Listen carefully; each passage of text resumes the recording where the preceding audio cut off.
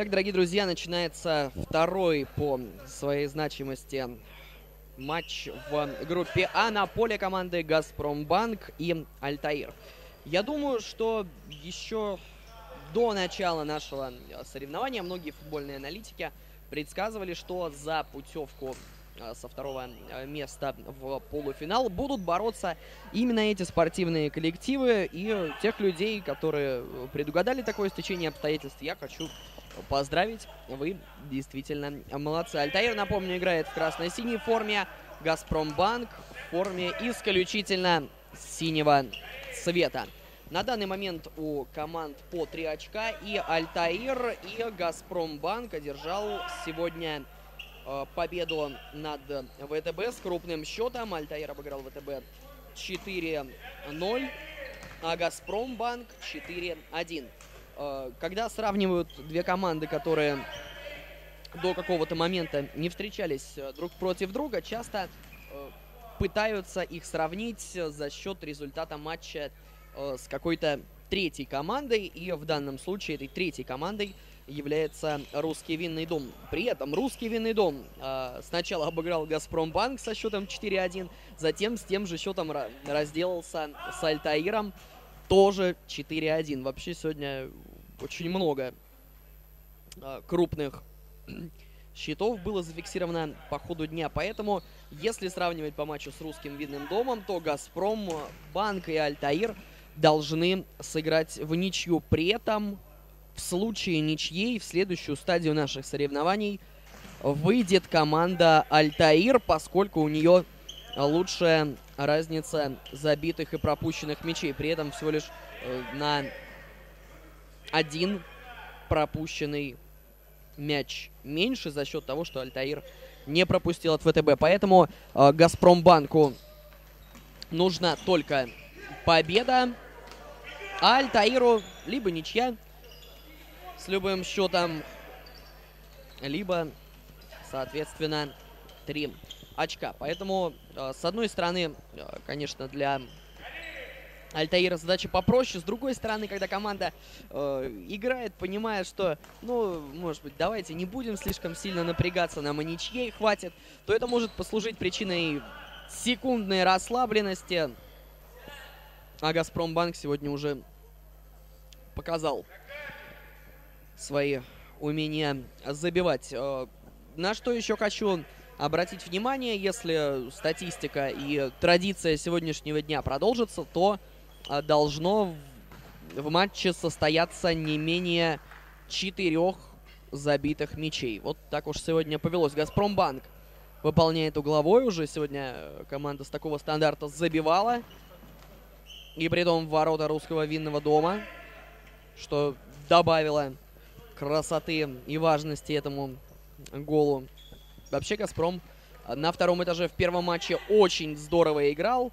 В поединке против ВТБ мы этого не видели, но, может быть, за счет того, что э, и э, по паркету мяч спокойно и хорошо катался. Сейчас хороший заброс Васин Андрей. Успел поднять руки. А это, кстати, не такая простая задача, как вам кажется, друзья. Как здорово разыгран был мяч. Виноват всегда дающий, говорится. В такие моменты. Ну, пока по первым секундам говорить, кто смотрится лучше, ну, просто невозможно. Я думаю, что на всем протяжении матча будет именно такая ситуация.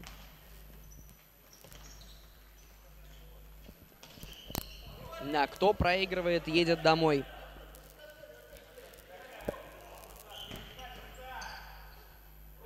И какая еще предыстория нужна?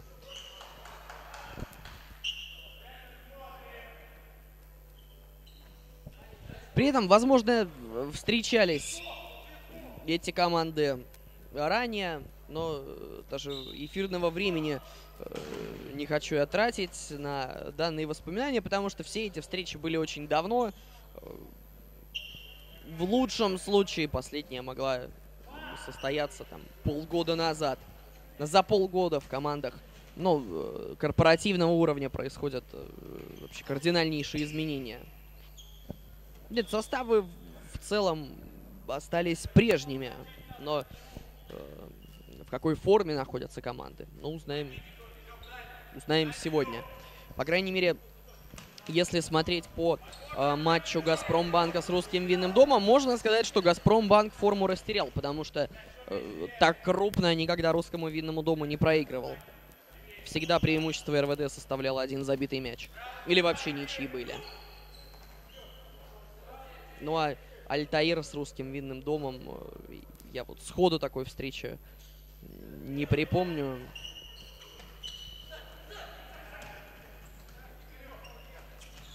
Поэтому говорить тяжело. Ох, хороший момент сейчас был у Газпрома. Угловой еще один.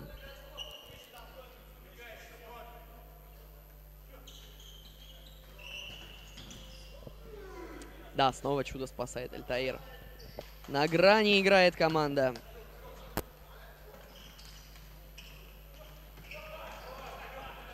Не было опасной игры. Судьи все видели.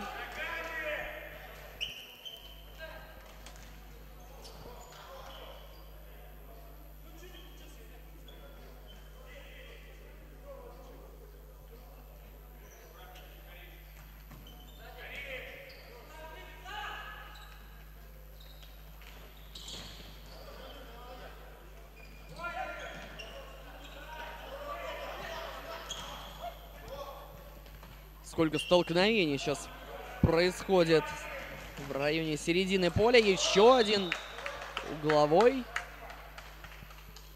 Судья, интересно, с какой целью пошел к месту развития событий? Кого-то из игроков успокоил. Пока лишь устным внушением, да, угловой, но, но ошиблись игроки.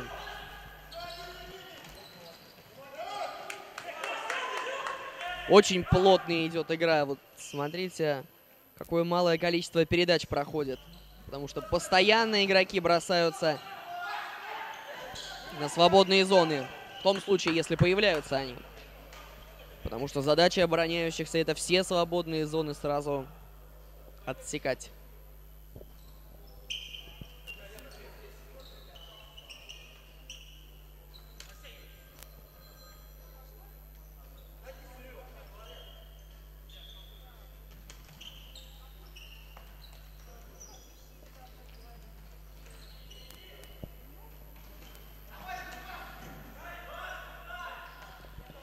Сколько столкновений происходит, но все столкновения игровые, пока ни одного нарушения правил зафиксировано не было.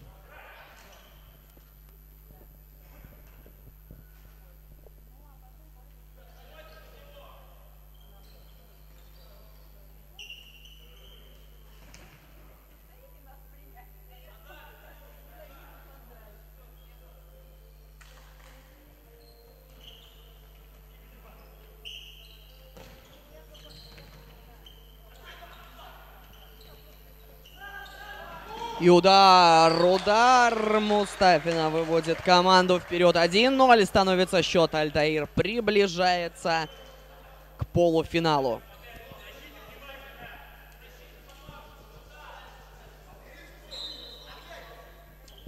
Ну что ж, э, Газпромбанку и до этого момента нужно было забивать. Сейчас э, нужно забивать еще сильнее.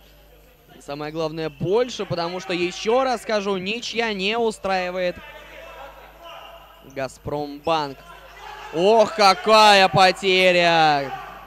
Какой провал случился. И в итоге еще один мяч залетает. 2-0 становится счет.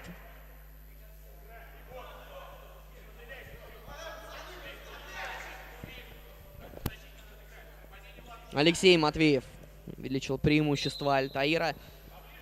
Да, Газпромбанку сейчас нужно собраться, конечно.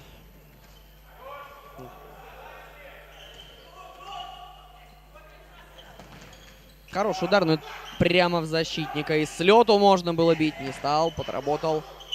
Еще один удар. Да, правильно сейчас подсказывают э, запасные. Сейчас спешить нельзя. Хотел я сказать, что можно было взять перерыв Альтаиру, но э, перерыв берет судья.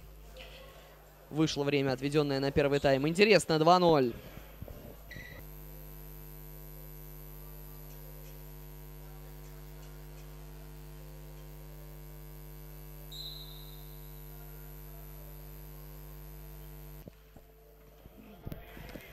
Продолжается матч после тайм-аута. 2-0.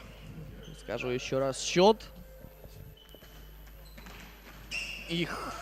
Какой хороший момент был. Если бы счет бы стал 3-0, то, конечно, в этом матче уже многое бы стало понятно. Потому что Альтаир, скорее всего, начал бы держать мяч, тянуть время играть от защиты. Для Газпромбанка все бы заметно осложнилось. Сейчас пока не может себе позволить э, команда играть таким образом, потому что 2-0 преимущество недостаточное, а 3-0, ну, это просто великолепно. Третий мяч забил Игорь Зуйков. Ну что ж, посмотрим, оправдаются ли э, мои слова относительно манеры игры Альтаира. С другой стороны, тянуть время сейчас, может быть, и нет смысла, потому что э, здорово команда играет в атаке.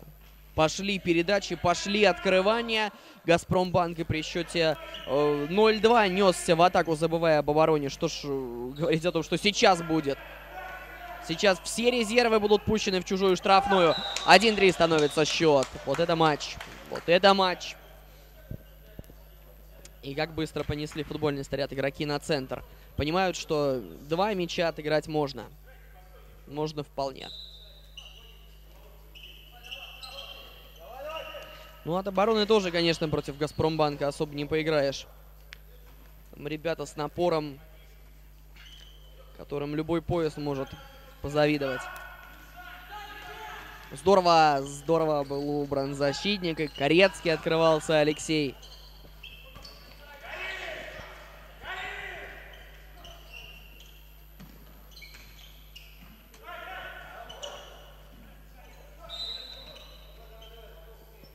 Нарушены были правила, и не поверите, это первый фол в этом матче. Первый, пока единственный. Напряжение такое, что иные бы нафалили уже на все десятиметровые. Дальний удар не прошел. Ох, ошибся сейчас игрок. Нет, все-таки вышел он э, за линию поля боковую, а не лицевую.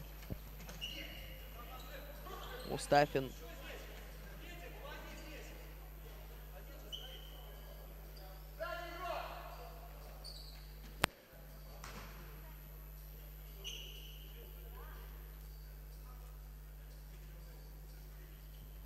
Ну, такие небольшие паузы, конечно, на пользу Альтаиру идут. Время за них играет.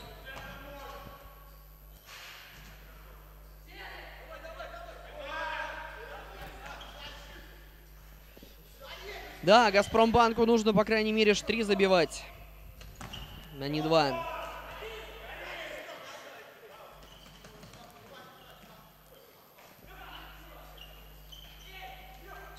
Не хватает удара. Затянули они уже. Столько возможностей было ударить.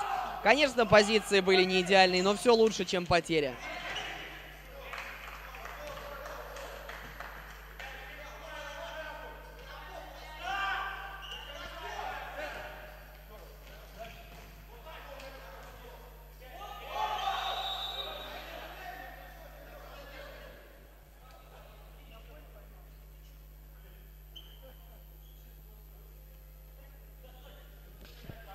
Да, нарушены сейчас были правила. Понятно, что торопятся игроки «Газпрома», при том не только находящиеся в поле, но и за его пределами. Желтую карточку схватил запасной. И штрафной.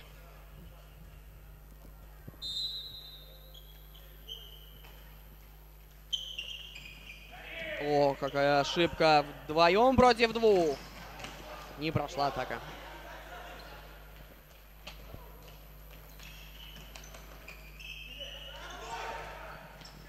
Замечательное преимущество сейчас было по количеству игроков чужой штрафной у «Газпрома», но только угловой. Сходу! Нет.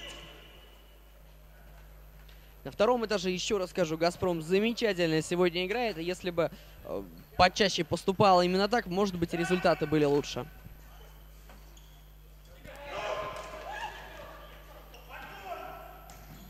Как разыгран был мяч. Все сделал Корецкий.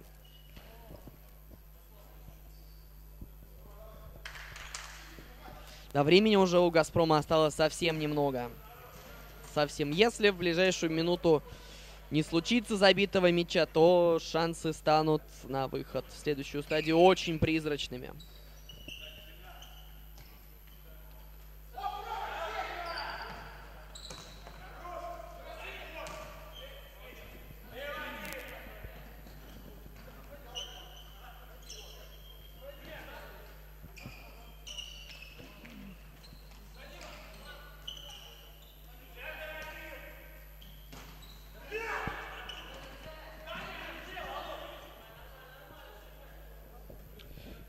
Ну что ж, Альтаир здорово сегодня играет, и матч против русского винного дома был замечательно проведен. Хоть и расстроились игроки, я в общении с ними, которое было как раз после матча с РВД, заметил, что еще ничего не понятно. Надо расслабиться, играть так же э, против Газпромбанка, как было сыграно с РВД, и все будет хорошо. Не то, чтобы я пытался команде помочь, просто неприятно, когда кто-то расстраивается из-за неудачно проведенных игр. Еще один угловой Газпромбанка.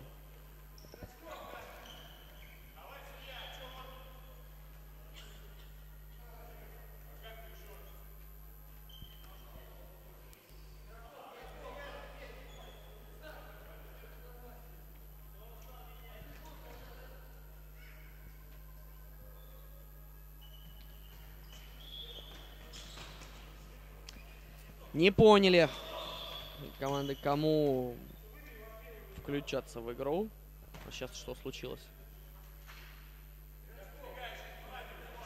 Ну, не совсем я понял, в чем там было дело.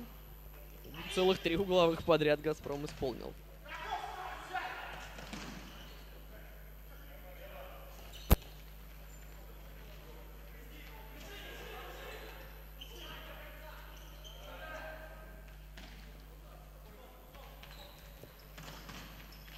Не сумел Рустам за мяч зацепиться. Ну, правда, заработали угловые. Конечно, не торопятся альтаировцы. Куда торопиться? Дальний удар.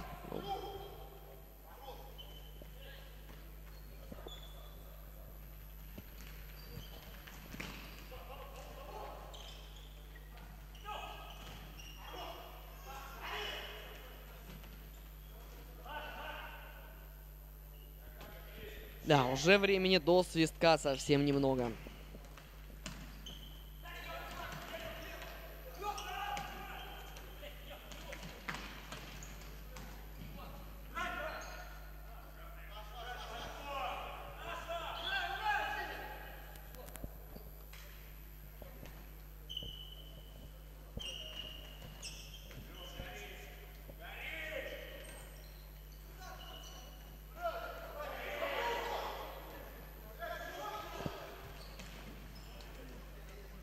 Не везет. Еще сегодня Газпромбанку создается такое впечатление. Поймали они свою игру в матче против ВТБ. 2-3. 2-3 становится счет. Еще два мяча нужно забить Газпрому. Как минимум два мяча.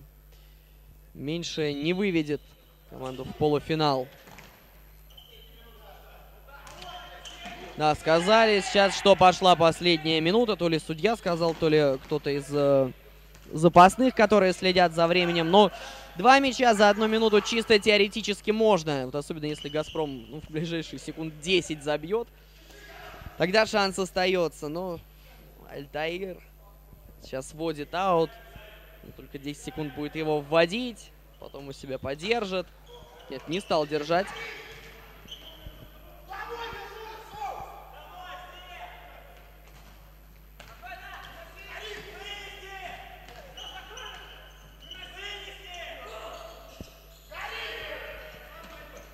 Ушел футболист на фланг, понимая, ну, должен был там около углового, по всем правилам, э, мяч постараться корпусом закрыть.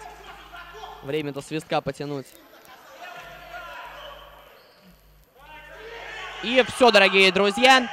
Команда Альтаир становится вторым полуфиналистом отправляется туда вместе с русским винным домом. Мы поздравляем Альтаир, благодарим Газпромбанк за хорошее, интересное, красивое выступление